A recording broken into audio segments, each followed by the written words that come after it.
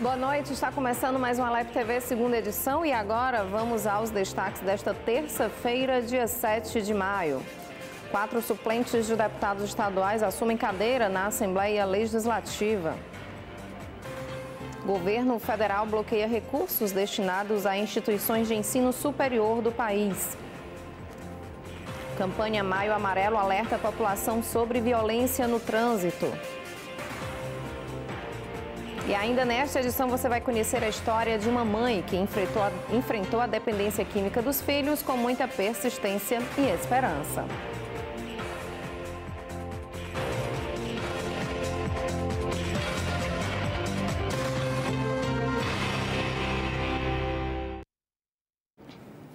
Quatro suplentes de deputados tomaram posse na manhã de hoje na Assembleia Legislativa. Eles ocupam cargo e assumem o compromisso de trabalhar em favor da população piauiense.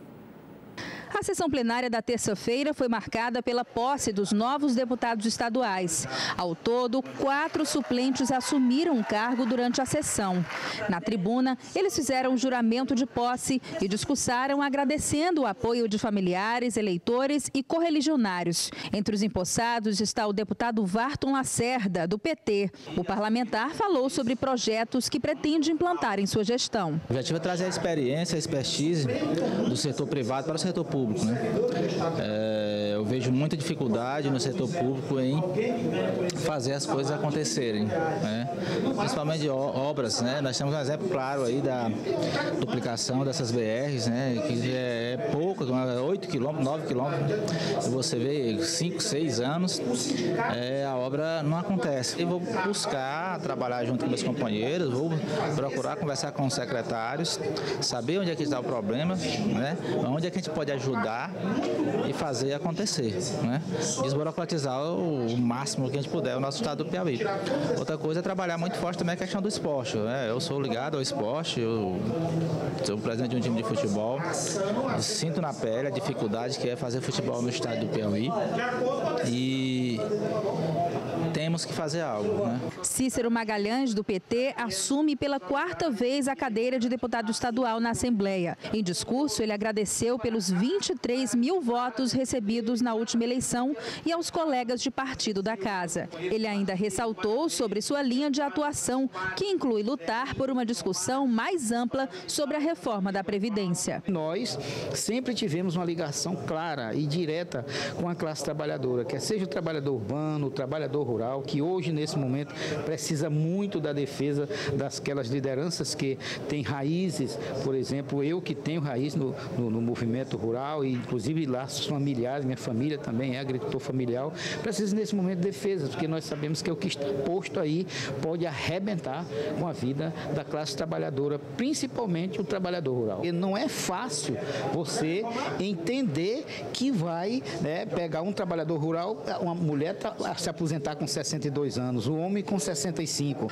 Ainda tomaram posse os deputados Ziza Carvalho, do PT, e Belê Medeiros, do Progressistas, ambos já experientes na Assembleia como deputados em gestões anteriores.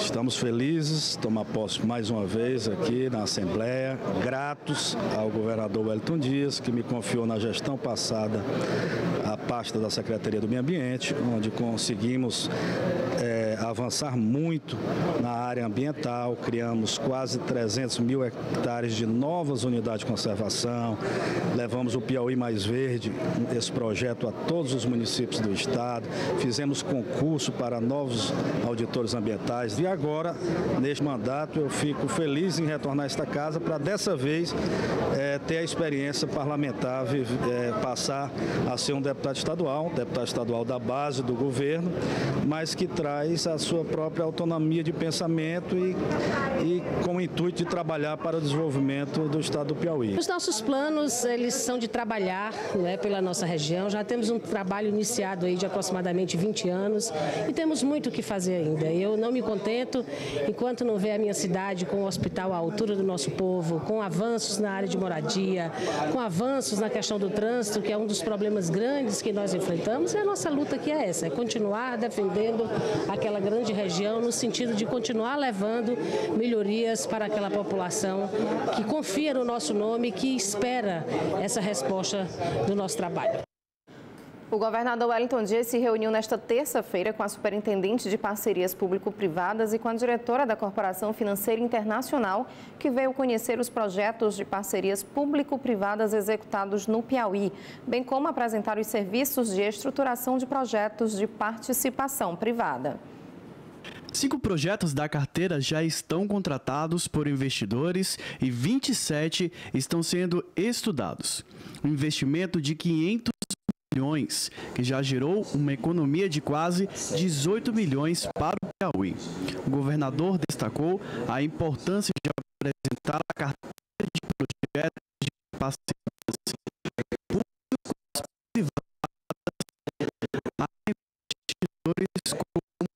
a IFC, que já possui parcerias nacionais e internacionais de sucesso a gente teve um pequeno problema na exibição da nossa reportagem. Você também fica por dentro das últimas notícias através das nossas redes sociais. Acesse o perfil do nosso Instagram através do endereço TV Assembleia PI. E veja no próximo bloco: o governo federal bloqueia recursos destinados a instituições de ensino superior do país.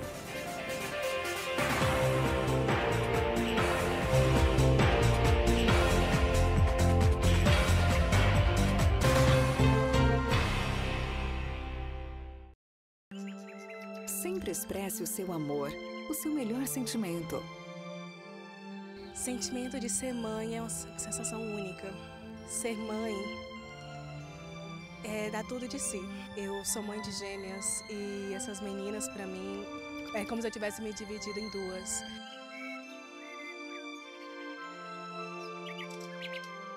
Mãe, eu te amo. A senhora é perfeita. Eu só tenho a agradecer a ela por tudo que ela faz por mim. Mãe, nós, amamos você! Minha mãe é incrível, né? Ela me apoia em tudo, em todos os momentos. Queria dizer, mãe, que você é a minha inspiração e que eu te amo muito. Você é perfeita para mim. Mãe, você foi a base, foi a fortaleza de todo o meu crescimento, de tudo na minha vida. Mãe, eu te amo. Beijo. Ser mãe é algo incrível. Eu, particularmente, fui abençoada por Deus é, por ser escolhida, é, por ser mãe do Davi. Mãe, eu te amo. Você faz isso com frequência? Aproveite todo o tempo que você tiver para dizer e demonstrar o quanto você ama sua mãe. TV Assembleia. Amor de mãe é amor de todo dia.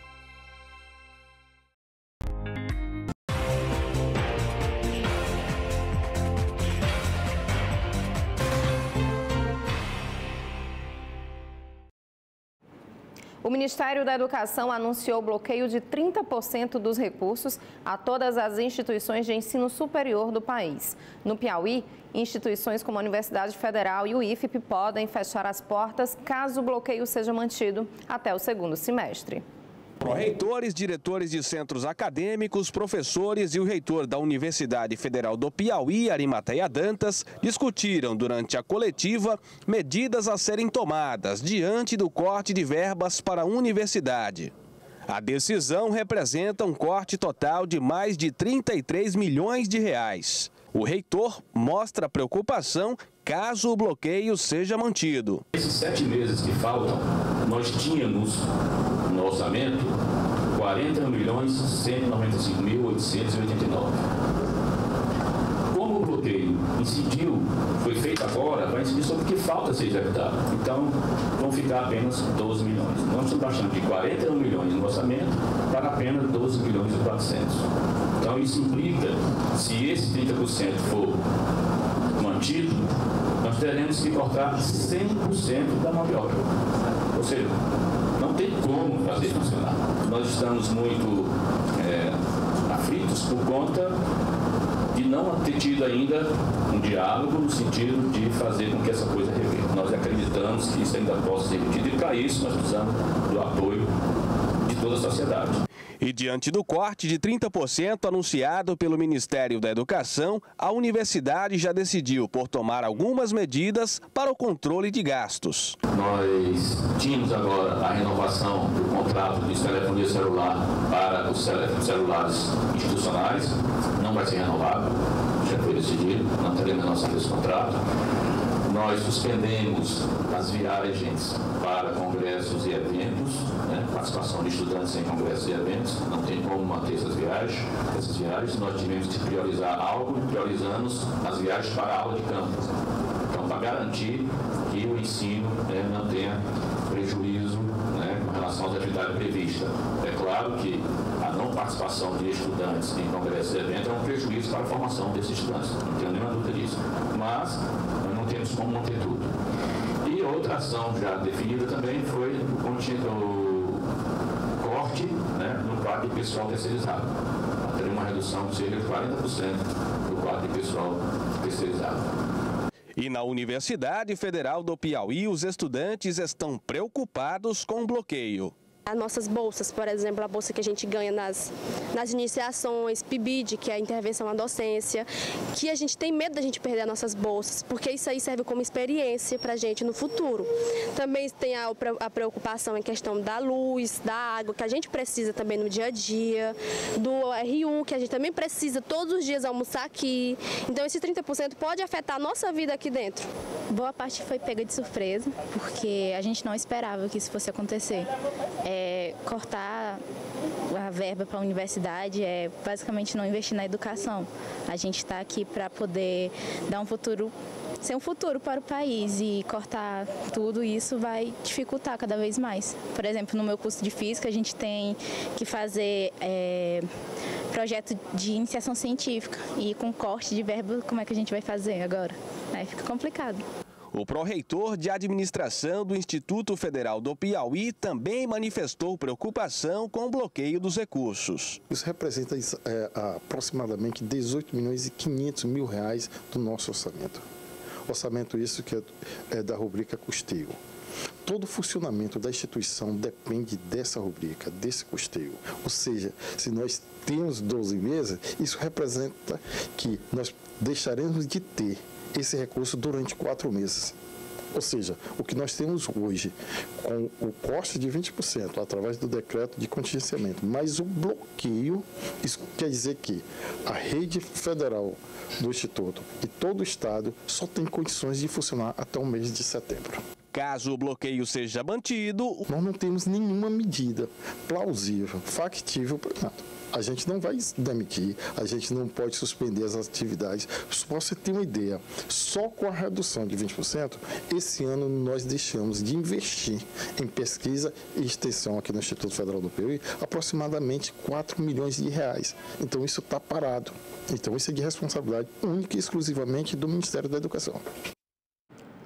Teve início hoje em Teresina a campanha Maio Amarelo, que visa alertar a população sobre a violência no trânsito. Durante todo este mês serão desenvolvidas ações para conscientizar as pessoas sobre a importância da educação no trânsito para salvar vidas. Para o movimento idealizado pelo Observatório Nacional de Segurança Viária, o Maio Amarelo quer chamar a atenção de pedestres e condutores de veículos o quanto é importante a conscientização da sociedade para um trânsito seguro.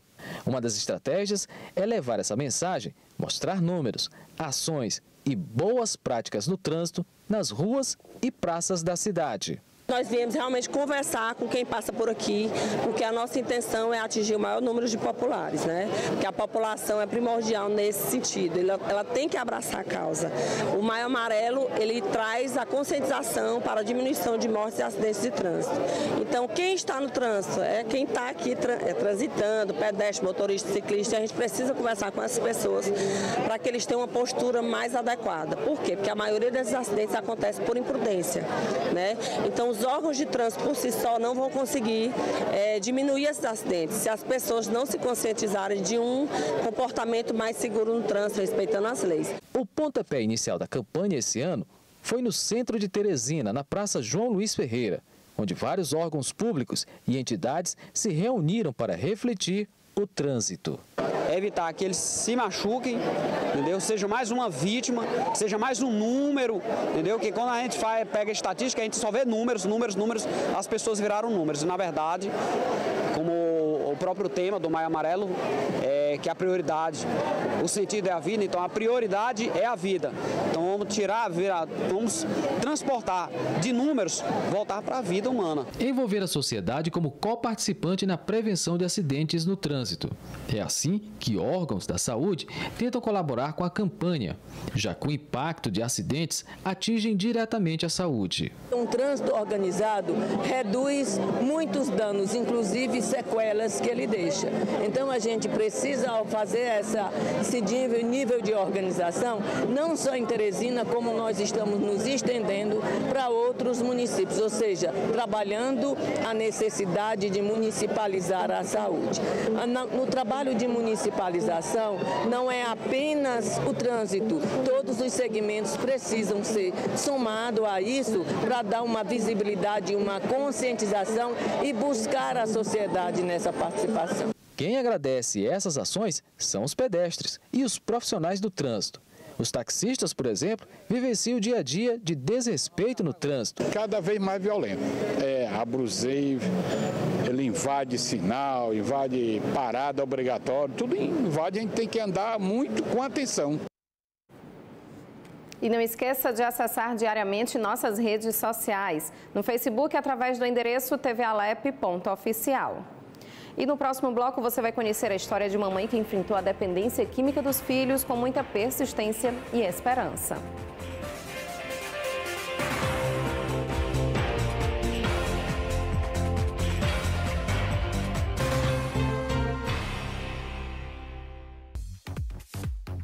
O mundo está cada vez mais dinâmico. E para ficar bem informado, acesse www.tvassembleia.org.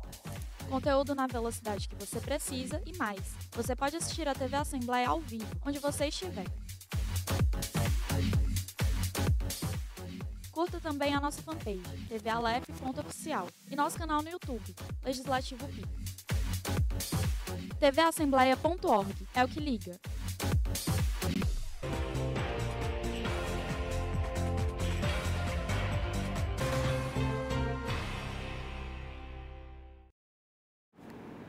Com uma história marcada pela persistência, Marta Amaral enfrentou a dependência química dos filhos com força e esperança. É mais uma reportagem especial que a TV Assembleia faz em homenagem às mães. Confira.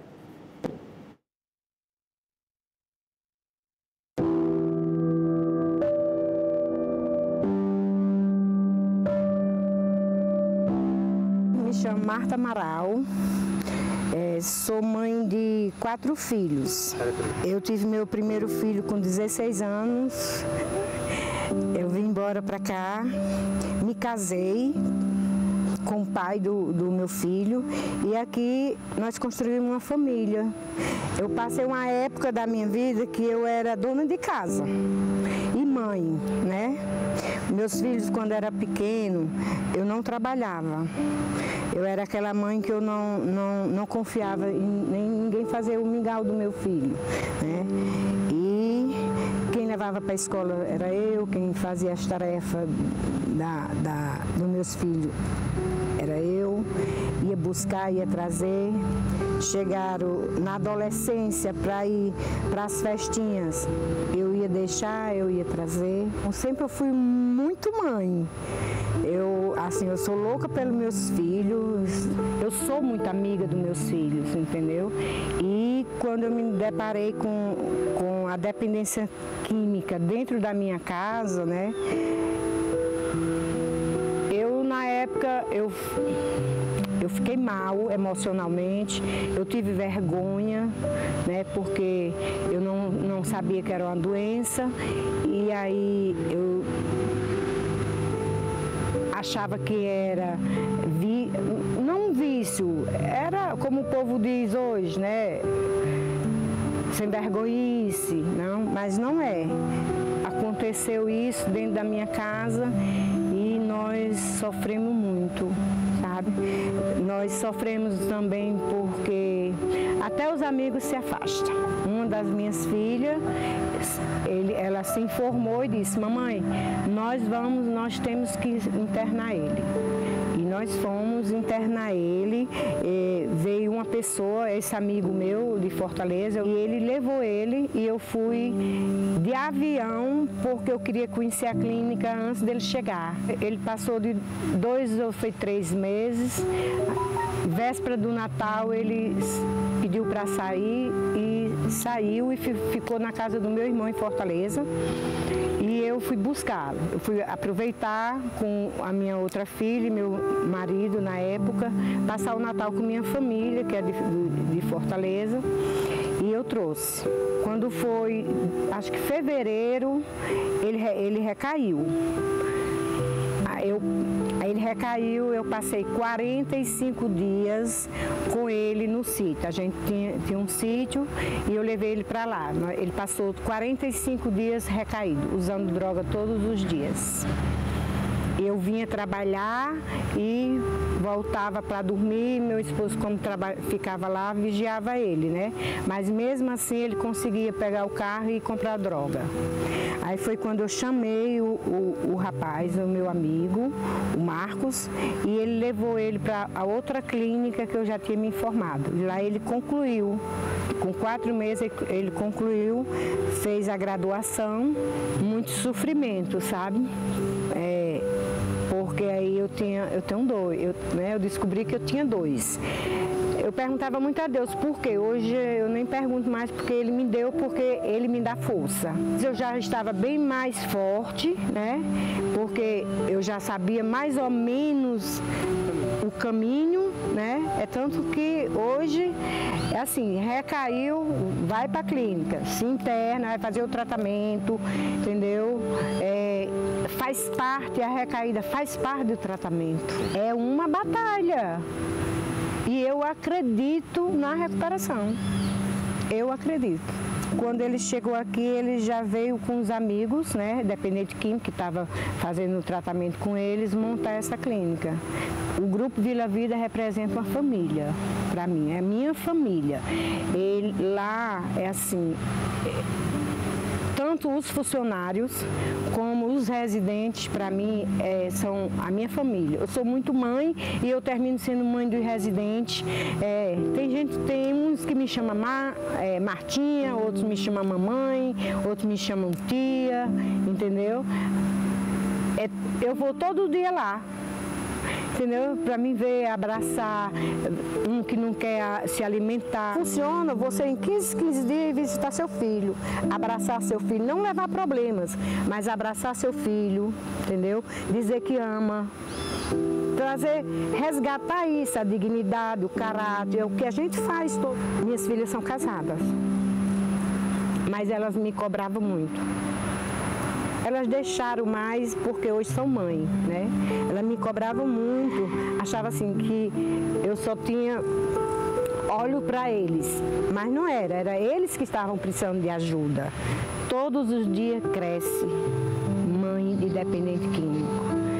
Eu quero dizer que, em primeiro lugar, ela tenha muito Deus, muito Deus, muito Deus.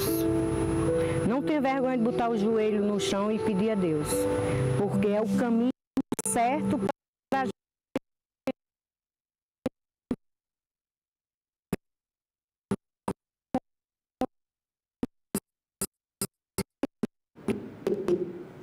Amanhã você pode conferir essa reportagem novamente no Bom Dia Assembleia a partir das 7 horas da manhã. E o Alep TV, segunda edição, fica por aqui. Você acompanha as reportagens exibidas hoje no endereço eletrônico tvassembleia.org. E acesse também mais informações através das nossas redes sociais. No YouTube, pelo canal Legislativo PI. Para vocês de casa, uma ótima noite e até amanhã.